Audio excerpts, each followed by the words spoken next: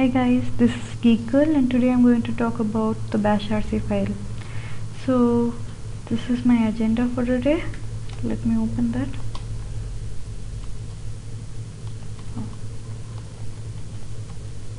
So today I'll talk about what bash rc file is. Then I'll go and talk about aliasing. Then I'll talk about sourcing of bash rc file and then I'll talk about exporting variables and then I'll like I'll be posting the link to these two uh, like some interesting stuffs which you can do using bashrc okay so let's get started. So what is bashrc bashrc is a script that runs every time the bash is started. So whenever you start a new terminal the bashrc is executed. Okay so let's close this for now and I'll go to my home folder. So that is where bash rc file is located. When you do ls of course you won't see it. When you do F ls minus a. You'll see a dot bash rc file. So if you see if you have seen my previous video I told you about dot dot files. Like the files which are starting with dot are hidden files. So bash rc is actually a hidden file. Still you can open it so now when when I'll open the bash rc file bash rc and you see a lot of stuff is written already in this file. So this is the default configuration of Ubuntu terminal. Okay? Uh, now you, if you want to create your own shortcuts you can just append that at the end of the file. So okay. So we had a bit of trouble opening bash rc file because we were not able to see it when we did ls and then we had to type bash and then press tab and like lot of typing. So that was like too much effort I, for me it's effort. So I'll just create a shortcut for that. So I'll use alias for it. Alias. Alias b is equal to vim dot vim okay vim slash dot bash rc right? Okay, this should be enough. Now when I try to do b here it's a command not found. Why exactly is that happening? We modified the bash rc it's and when I open the new terminal and when I type b it's opening very perfectly.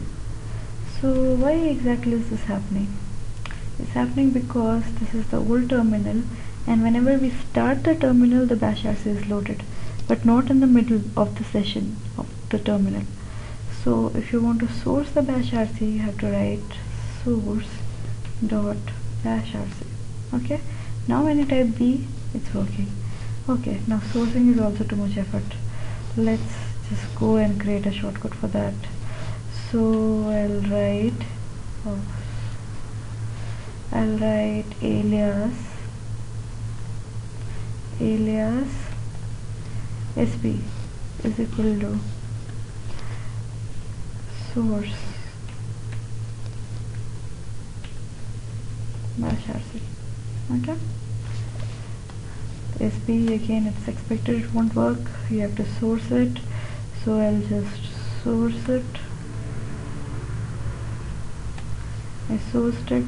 Now when I open the bash rc and do some modification so what I want to do with it? Okay I want to go to documents directory. So you can just edit it. Go to doc.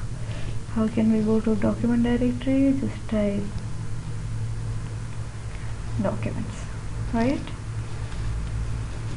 now when you do when you source it and then you do doc oh sorry. Doc oh. Ah. doc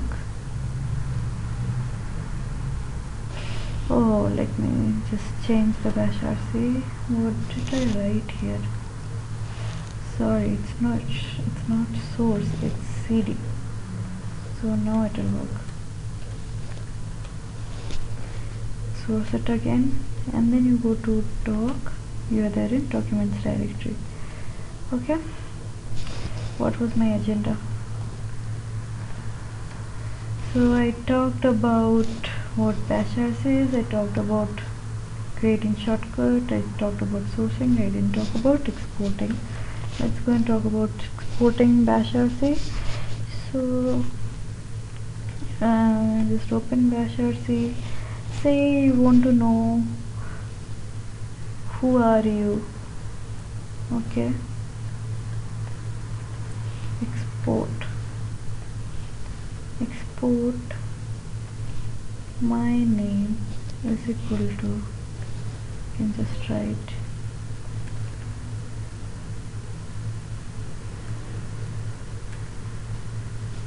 Equal okay when you source it so if you observe I'm not in my home directory now. And still I'm able to use B and SB and all those shortcuts. So that's the benefit. Right? Okay. Now I have sourced it. So when I echo dollar my name you see equal. Okay so if, if you have not e sourced it you would not see geekgirl instead you'll see an empty string here. So yeah. So this is my global like exported variable. You can use that anywhere. So if you say if you are in documents let's create a shortcut now. If you are in desktop and let's go to desktop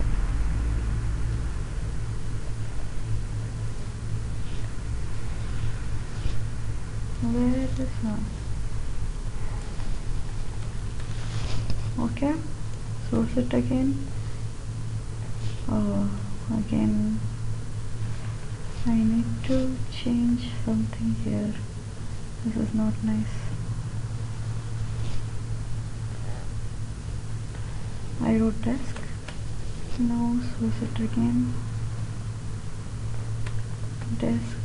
You're in desktop and now if you want to echo my name it will work here also. Right? So this is like how cool bash rc is. You can create many shortcuts like on depending upon your use case. You need not write like you need not remember all the commands. You need not write so much like long commands. And uh, for things which you do again and again. So that is the use of bash rc also these bash rc you can do autocomplete in these bash rc so I have already sourced it. Now if I want to go to desk if you just write DE it will autocomplete it. Okay desk. This is not a good example. I'll show you some other example. Maybe doc. See it's like it's showing in autocomplete it's showing those uh, those values which you have written in the bash rc okay you can also use this in tilde. So if I say say let me edit my bash rc to echo something okay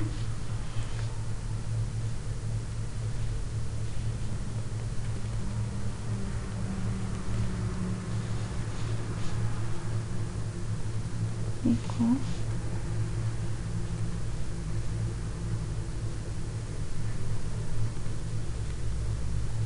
yeah.